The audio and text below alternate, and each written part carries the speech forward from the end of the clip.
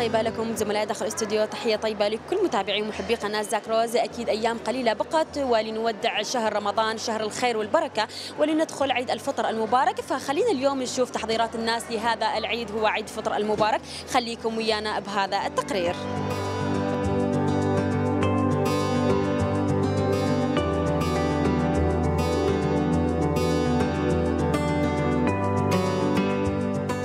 يعني كثير من آه، السياح وخاصة من المحافظات الغربية آه، ومن ال- الجنوب والوسط. اليوم يعني آه، أتوا إلى محافظة دهوك وإلى محافظات إقليم كردستان لقضاء فترة العيد.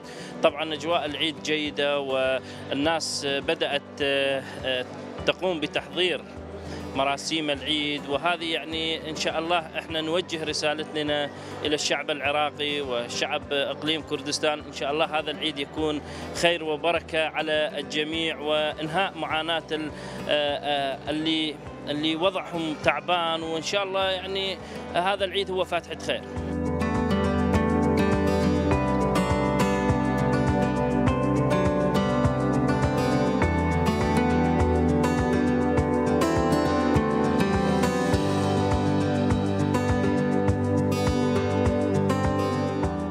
جايين من بغداد جايين سياحة لدهوك وأربيل.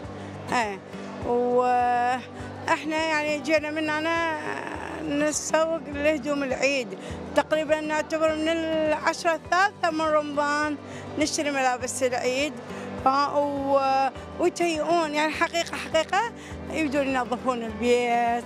يعني على تحضيرات العيد مثلا إيه، وسكليت وحلويات نحضر ومسواق غير شكل. إيه وكل شيء غير شكل. بس اشترينا ملابس هاي سهنا من دوك أخذناها. بس الكليتش لا قبل يوم أو يومين من العيد نحضرها.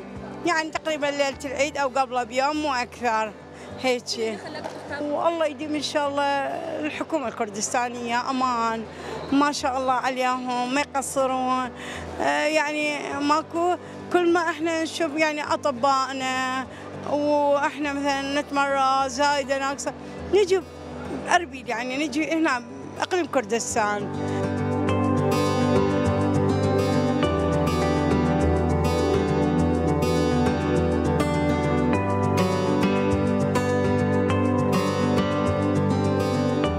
تعرفين نهاية رمضان فتيجي تغيير جو المحافظات الشمال هاي المرحلة الأولى مطاعم كافتريات طيبة آه، راحة نفسية إيه وما شاء الله الأسواق طيبة هنا وكلها ماركات وشغلات حلوة فتيجي تبضع من محافظة دهوك محافظة طيبة وجميلة وزيارتنا دائما إلى محافظة دهوك ونس بيها ومحافظة جميلة جدا.